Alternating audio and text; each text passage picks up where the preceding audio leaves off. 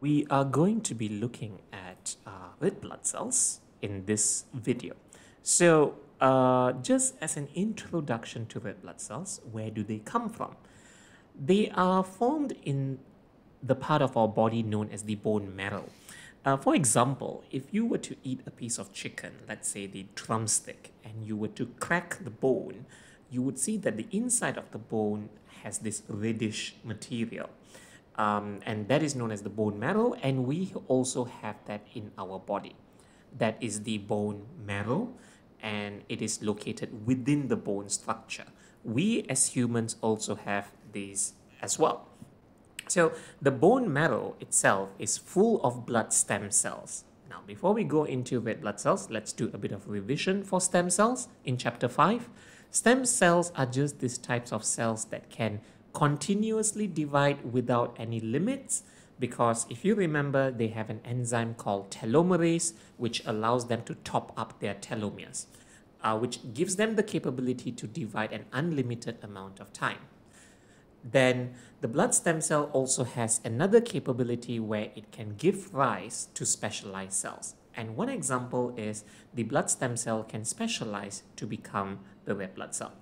So that is how red blood cells are formed. Red blood cells are formed in the bone marrow and they come from these particular cells known as blood stem cells.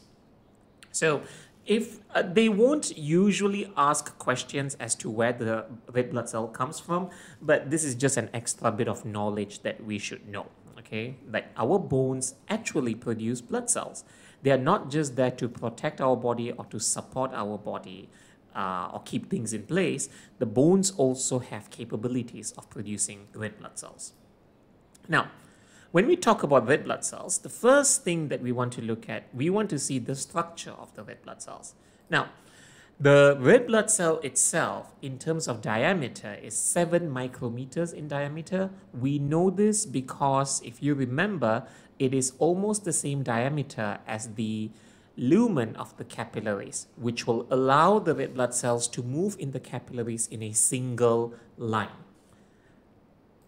So why is it important? that the red blood cells are 7 micrometers and it moves in the capillary in a single line. It's so that it brings the oxygen to the cells as near as possible to allow easy diffusion to happen. Now, if we were to take the red blood cell and if we were to cut it, okay, obviously we can't cut a red blood cell, but imagine if the red blood cell were a slice of cake and I just cut it to look at its cross section, the cross section of the red blood cell will have a rather weird shape. And that shape of the red blood cell is referred to as a biconcave disc. Now, immediately students will ask me, or students may wonder, what does the word biconcave mean?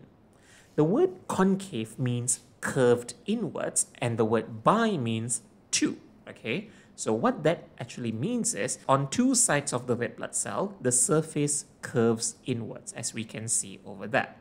Now, why is the surface of the red blood cell curved inwards? How does this help? You see, to answer this question, we will have to compare three types of cells. Now, I have a cell on the left, which is just a normal cell that is not curved in any way. Uh, another cell in the middle, the cross section, where it's curved inwards, and another cell where it's curved outwards. So there is a normal cell, biconcave cell, and a biconvex cell. All right where it's curved outwards. The first thing we want to cover is its total surface area. The normal cell will have a normal total surface area, but the biconcave cell will have an increased surface area because certain parts of its surface is curved inwards. That creates an extra surface area for the biconcave cell. The biconvex cell also has a larger surface area because the area is curved outwards, creating extra surface. So in terms of cells, we would like the cell to have a larger surface area. So we can eliminate out the normal cell. Now, between the biconcave cell and the biconvex cell, we, when we compare their volume, you will notice that the volume within the biconcave cell is lower and the volume within the biconvex cell is higher as I have shaded in black just to show you that how the space within the cells are different between the two of them okay all right So in terms of total surface area, both of them have larger total surface areas, but in terms of volume, the cell on the left has a lower volume and the cell on the right has a higher volume. Why do I care? The next thing we have to compare is the total surface area to volume ratio. We always want a higher total surface area to volume ratio for easier diffusion of substances. And in mathematics, if you want a high total surface area to volume ratio, the total surface area has to be high, but the volume has to be low. As an example, if we both assume that the surface area of both cells are 100 units, and if we also assume that the volume of the biconcave cell is 20 units and the volume of the biconvex cell is 60 units, again, these are all just assumptions. If we were to compare the ratio, for the cell on the left, the ratio is 5 to 1, but the cell on the right, the ratio is 5 to 3. Okay, so what that means is biconcave cells have a larger total surface area to volume ratio in general. And this is important because it allows easier diffusion of oxygen in and out of the cell. Okay, if the cell had too large of a volume, diffusion would have been extremely difficult because the total surface area to volume ratio would have been much smaller and we don't want that to happen. So the red blood cell solves this problem by having its shape become a biconcave disc. Now, the next one we want to also look at about the red blood cell is the fact that it is flexible. The red blood cell can actually bend, okay, and when it when it's bent, it can change its shape, but then it will always go back and bounce back to its normal shape. So why is this good? That the red blood cell is able to change its shape depending on the situation. Because sometimes capillaries can be narrower than usual. Imagine if a capillary is too narrow, especially when you bend your legs.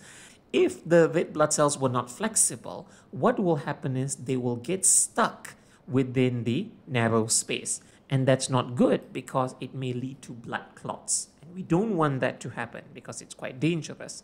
So the red blood cell, having a flexible shape, allows itself to squeeze through the narrow capillaries by being flexible and after that it will return back to its normal body shape. So flexible red blood cells allow it to change its shape, squeeze through narrow or tight junctions, and then just go back to its normal shape when necessary. That's what that means.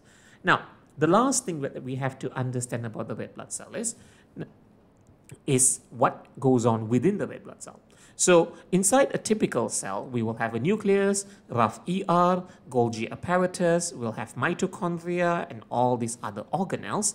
However, inside a red blood cell, nope, it doesn't have any of those organelles at all. The reason it doesn't have a nucleus, it doesn't have endoplasmic reticulum, ribosomes, mitochondria, Golgi body, none of that at all. The reason is because it wants to have more space to contain hemoglobin. And the more hemoglobin it has, the more oxygen it can transport. These are the four things that you will have to know about the red blood cells. The fact that it's that the fact that it is 7 micrometers in diameter, it has a biconcave disc shape, it is flexible, and the fact that it has no nucleus, ER, ribosomes, or mitochondria. If a question asks you to describe the adaptation of red blood cells, then you just have to say it's, oh, it has a biconcave disc shape. But if the question says explain the structure of the red blood cell, then you have to say it has a biconcave disc shape to allow a higher total surface area to volume ratio so that oxygen can diffuse in and out of the cell okay? The one on the left where I've highlighted are just their description. The one on the right for each of the description are their corresponding explanations